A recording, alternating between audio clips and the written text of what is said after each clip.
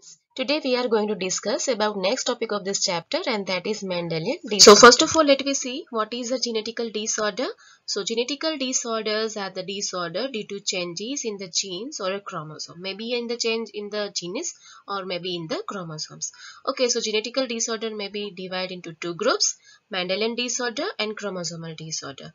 Okay so Mendelian disorder include hemophilia, color blindness, thalassemia, sickle cell anemia, phenylketonuria, then cystic fibrosis. These all are the condition which is included into Mendelian disorder. And in today's lecture, we will discuss about hemophilia and color blindness. Okay, in this thalassemia, sickle cell anemia, phenylketonuria, cystic fibrosis, these all disease we will discuss in next lecture. Okay, and then we will discuss about chromosomal disorder in which we will discuss Down syndrome, Klinefelter syndrome and Turner syndrome in next, next, next lectures. So, what is a Mendelian disorder? The disorder caused by alternation or a mutation in a single gene. Okay, so if alternation occur, disorder occur, that is uh, that is caused by alternation or a mutation in the single gene. This is the definition. Okay, then it is called as a Mendelian disorder. Example include hemophilia, color blindness, sickle cell anemia, phenylketonuria, thalassemia, cystic fibrosis. These all are the example of a Mendelian disorder. And in today's lecture, we are going to discuss about hemophilia and color blindness in detail. The pattern of inheritance of a Mendelian disorder we can study or trace in a family by pedigree analysis. So by using pedigree analysis method, we can trace the family disorders okay by Mendelian disorders in the pattern of this inheritance in the family. Okay so in a family if you want to study about the Mendelian disorder then you can use pedigree analysis for that. Okay so let me see what is a Mendelian disorder. Mendelian disorder may be of two kind may be dominant or may be recessive. Okay this is a pedigree you can see. This is a pedigree analysis of autosomal dominant trait okay example is a myotonic dystrophy. So if myotonic dystrophy is there that is the autosomal dominant. So you can see here one of the parent is the, you can see affected then children are affected. Okay and this is the case of a myotonic dystrophy and that is example of a autosomal dominant trait. Okay next here you can see both of the parents are normal okay if both of the parents are normal and if the offspring shows some characteristic disorders then you can say this is the recessive one. Okay these both are uh, not affected but offspring are affected. That means autosomal recessive is there. Okay so pedigree analysis of autosomal recessive trait. Here example is a sickle cell anemia. Sickle cell anemia is a disease which is autosomal recessive disease. And myotonic dystrophy is autosomal dominant. And you, here you can see characteristic pedigree analysis this is for the autosomal dominant trait and this is for the autosomal recessive trait. And directly from this, this is from the textbook and directly sometime this may be asked in the board's examination or maybe in the NEET examination. So you must be remember these pedigree is for the myotonic dystrophy and that include autosomal dominant trait and these pedigree is for the sickle cell anemia that shows autosomal recessive trait. Okay, so pedigree analysis has to understand whether the trait is a dominant or a recessive. This is very clear after study the pedigree analysis. Okay, now let me start discussion about the hemophilia, a royal disease that is called because it is uh, found in the royal family of a British. So it is a sex link. Okay, so here you must be remember this hemophilia disease is a sex link that is a X chromosomal link and that's why it is also called X link recessive disease. So you must be remember hemophilia is the X link or X chromosome linked or a sex linked recessive disease. So X chromosome will have, you can see here, X chromosome will have this type of defective gene. Okay, so normal gene is indicated as a capital H and defective gene is indicated as a small h. Okay, and this small h is on the X chromosome and capital H also on the X chromosome. Okay, so it is sex linked and here you can observe Y chromosome do not possess any kind of capital H or a small h. Okay, so hemophilia related gene is not present on a Y chromosome. So you must be very clear. It is only linked with the X chromosome. Okay, it is not linked with the Y chromosome. So in this, a protein involved in a blood clotting is affected here what happened a protein uh, what is uh, whatever the uh, factors which are responsible you know very well. 13 factors are responsible for blood uh, clotting. You know very well. You have already studied in standard 11 which are the clotting factors. Okay so here what happened whatever the protein involved in the blood clotting or as a blood factors is affected a simple cut will result into non-stop bleeding in this person. What happens? Simply what happens whenever we cut or injured at that time if blood flow is there after 2 to 3 minutes it will, it will be stopped okay automatically just because of a blood clotting mechanism. But here in this person what happened? A protein which is involved in the blood clotting is totally affected. And that's why here blood clotting will not have uh, not done. And as a result what happened? If simple cut will uh, will be result into the non-stop bleeding in this type of person. Okay and uh, this must be emergency. They may be admitted in the hospital and it must be given the blood clotting agents or factors it is controlled by a pair of allele that is a capital H and small h. Okay, H is a normal allele. This is very normal. Okay, H is a normal allele and small h is responsible for hemophilia. Okay, so you must be remember capital H is a normal and small h is responsible for hemophilia disease. Okay, so if small h is there, the blood clotting factors will be affected and if capital H is there, blood clotting factor will be normal. So here you can see this is a normal female. Okay, you can see both axes having HH, there is capital 1. Here, these female, here you can see heterozygous female it okay so this female having capital H and small h one X having capital H one H X having small h. So these female do not have any kind of symptom of hemophilia but she may transmit the disease into their sons. Okay into their sons. This is very interesting. Or mother will transmit the disease to the sons and father will transmit the disease to the uh, daughters okay so this is very interesting fact. So heterozygous female this is heterozygous. Oh, you can see here both are different so it is called heterozygous. And these female will act as a carrier. Though she do not have any kind of hemophilia it may be or she may be transmit the disease to the sons. Okay and uh, hemophilic female here you can see both the axis both axis this is very rare okay the chances of this is very rare. So hemophilic female when hemophilic female will be there at that time when both axes having small hh okay you can understand this. Small h is a recessive one and then uh, if uh, capital h is absent then only it will be expressed.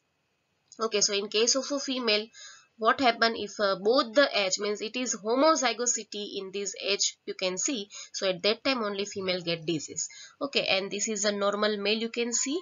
And age male have only one X if only one X is affected here you can see this is a normal one. Why do not have H or uh, small h or uh, capital H? But here suppose only one X is affected only one okay because uh, the other is y okay so y do not have h right? So but only one x is affected then only this hemophilic male will be there. Okay so if female is there there is a different case. If both having small hh then the female will be hemophilic. But for the male only one x even with the small h will result into hemophilic male. Okay so this is this why you can see here that's why there is a more chance of male having hemophilia okay if you compare female and the male then female have less chances of hemophilia. Okay whereas uh, hemophilic male means in the male hemophilia is consistent. Okay because you can see here in the hemophilic female only possible when both the axes having small h. But in the male what happen? Only one x is there with the small h it result into hemophilia. That's why male have more chances of hemophilia disease okay and here you can see a very classical example and why it is called royal disease because in female hemophilia is very rare. Already i told you why female having hemophilia rare condition because it happen only when mother is at least carrier and father is a hemophilia okay so hemophilic so here what happened when combination between mother and father mother having only one means uh, having a carrier okay carrier type of genotype and father is a hemophilic okay inviable in the larger stage of life. Okay inviable in larger later stage of life. And here you can see this is why it is called royal disease because queen victoria was a carrier okay queen victoria of uh, british is a uh, having a carrier for the hemophilia. She do not it's uh, she do not have any kind of disease hemophilia disease. But you can see she uh, she was acting as a carrier. Okay here you can see carrier female. And that's how you can see all male in next generation uh, old generation you can see males are affected. Because it is the disease which will transform from mother to son and from father to daughter okay this is called criss-cross uh, inheritance. Okay it will transfer mother to son and father to daughter. Okay so you must be very clear. So queen victoria was a carrier of a hemophilia so her family pedigree show many hemophilic descendants. You can see. Okay this old darker one is in indicating the hemophilic male.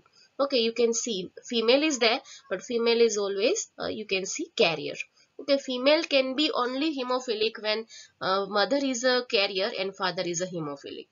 Okay so here father do not have this type of uh, small h. So any female you can see female do not have any kind of uh, hemophilic diseases. Okay because uh, uh, this daughter will only get hemophilia when father is affected. So now i am asking you an mcq mcq a Okay, so result of a cross between a normal homozygous female, here it is written normal homozygous female and a hemophilic male would be. So you can draw a pedigree analysis, you may do a pedigree analysis or a Punnett square, whatever is uh, very uh, easily available to you. Okay, whatever is easy for you and write down your answer from these options in a comment. Okay, and for these I am giving you 2 minutes. Your time start now.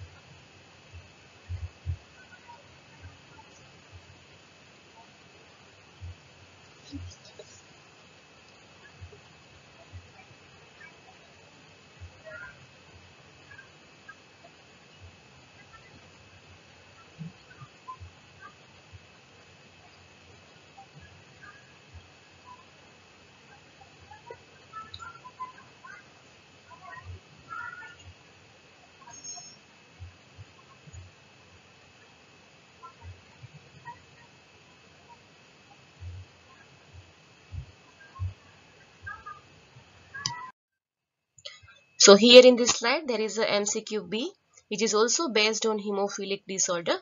Okay, so here if a hemophilic man marries a carrier woman, okay, female or a woman is a carrier, then which of the following hold true for their progeny? So just you have to write down your answers from these options and for these also I am giving you 2 minutes. So your time start now.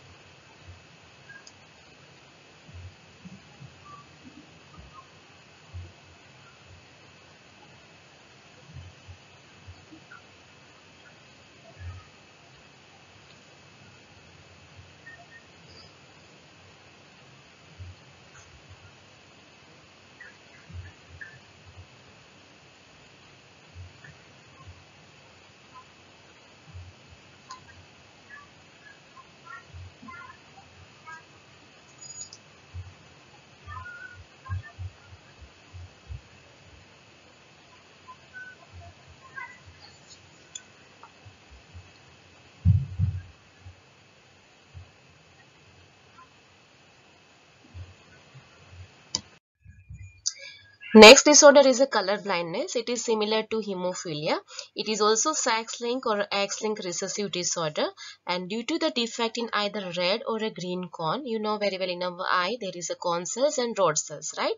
But here what happened in this case in color blindness people, red and green cone cells of a eye, okay, it will defect the red and green color cone cells, okay, on the in the eye and as a result it result in the failure to discriminate between red and green color okay you can see here if a normal person is uh, see this is the cap this is greenish color but colorblind people will uh, vision of these colorblind people is like, like this. You can see they will see like this this green color.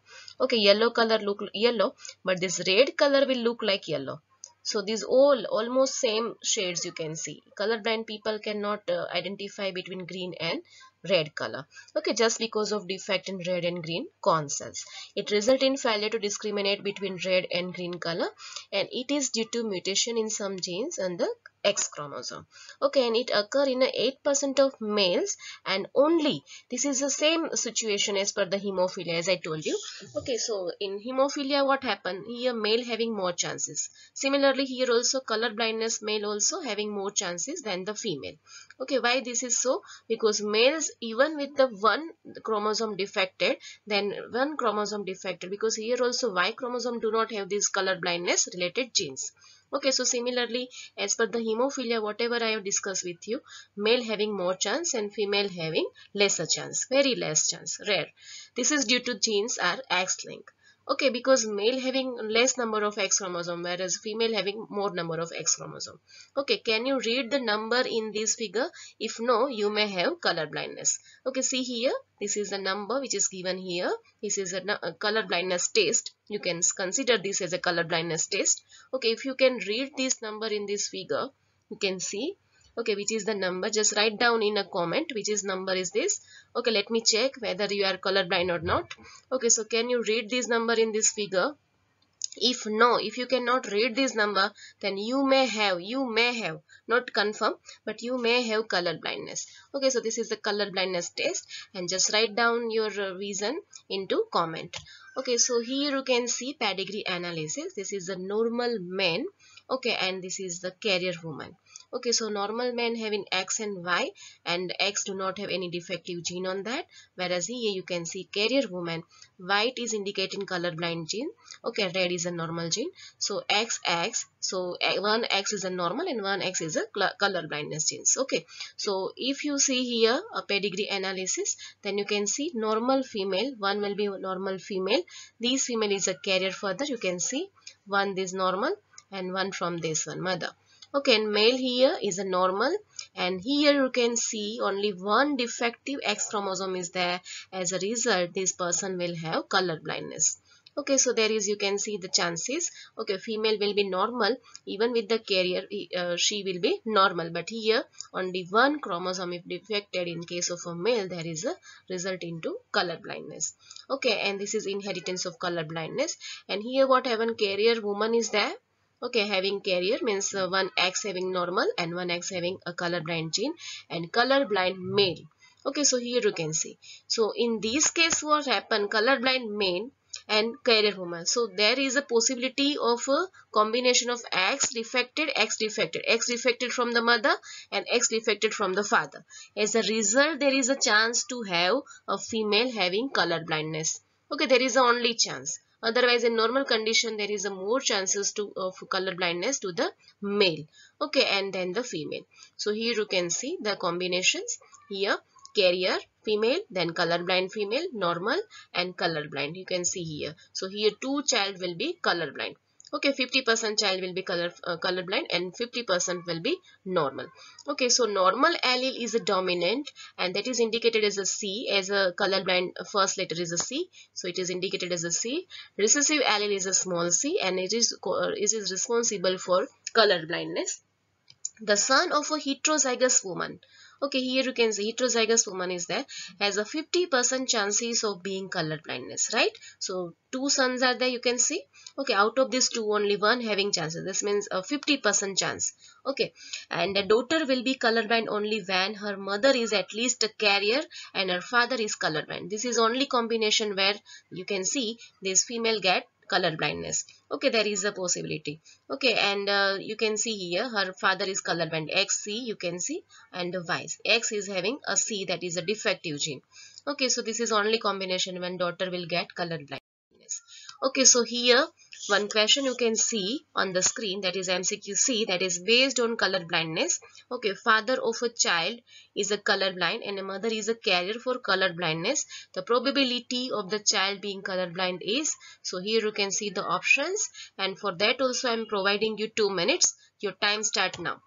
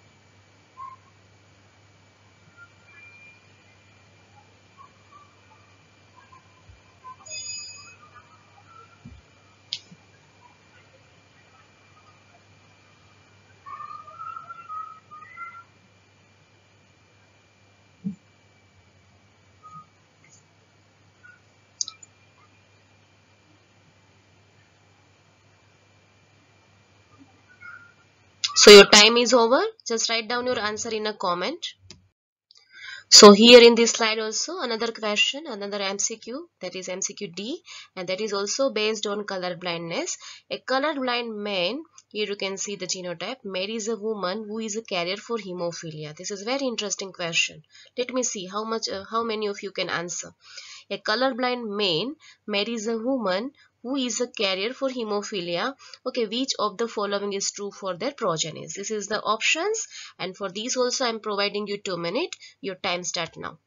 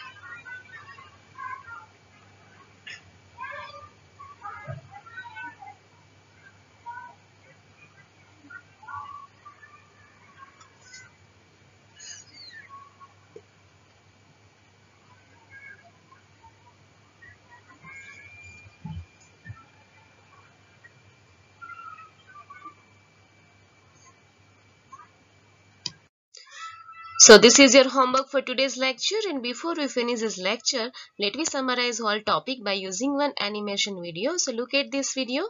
All of us are carriers of potentially hazardous genes.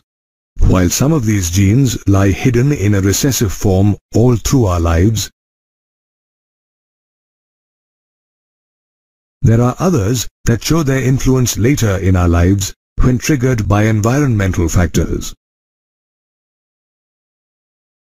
There are also a few genes that show their presence immediately after birth or even before we are born in the form of genetic disorders. We can broadly classify genetic disorders into two types, Mendelian and chromosomal. Mendelian disorders include genetic disorders caused by alterations or mutations in a single gene, as in thalassemia and sickle cell anemia. While chromosomal disorders include genetic disorders caused by an excess, absence, or abnormal arrangement of chromosomes, as in Down's syndrome and Turner's syndrome. Let's now learn about Mendelian disorders in greater detail. The mutated genes that cause Mendelian disorders follow the laws of Mendelian inheritance. These disorders can be autosomal recessive, autosomal dominant, X-linked dominant, or X-linked recessive. Some Mendelian disorders are cystic fibrosis, hemophilia, thalassemia, sickle cell anemia, and phenylketonuria. Let's study more about some of these Mendelian disorders. Hemophilia is a genetic disorder that impairs the body's ability to coagulate or clot blood when a blood vessel breaks. This disorder occurs when a single factor from the several factors involved in the process of coagulation is affected. It is a sex-linked recessive disorder inherited through the X chromosome, and the possibility of a male offspring inheriting this disorder is greater than in females. A male offspring inherits this disorder from an unaffected carrier or a heterozygous female parent, and these males are generally inviable or infertile in later stages of their lives. The possibility of a female offspring being hemophilic is very rare and occurs only if both the X chromosomes in the offspring are in recessive form. That is, the father must be a hemophilic, carrying the recessive X chromosome, and the mother must be a carrier or a hemophilic too.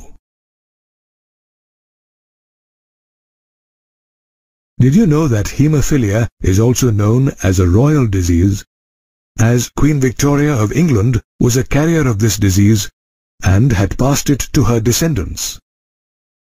In next lecture, we will learn about rest other Mendelian disorders. So till that, goodbye.